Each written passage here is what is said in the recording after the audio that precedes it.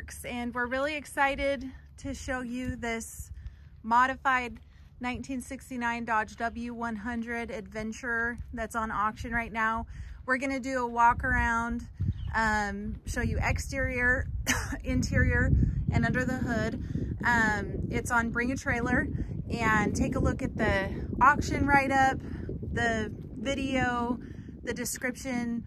Let us know if you have any questions. We've been in business about 19 years. We've sold about 1,400 cars, mostly on the internet. And we're happy to help with any questions that you have. So reach out and let us know if there's something you need help with. Obviously, this truck is beautiful. Wait until you see the undercarriage in the photos. It's just gorgeous. And a lot of the current work was done by the gentleman who owned it for the longest. And he started work on this in his 20s and did most of the work that you see here today. It was painted in the 90s and this paint looks incredible. So um, we're gonna show you everything about the truck.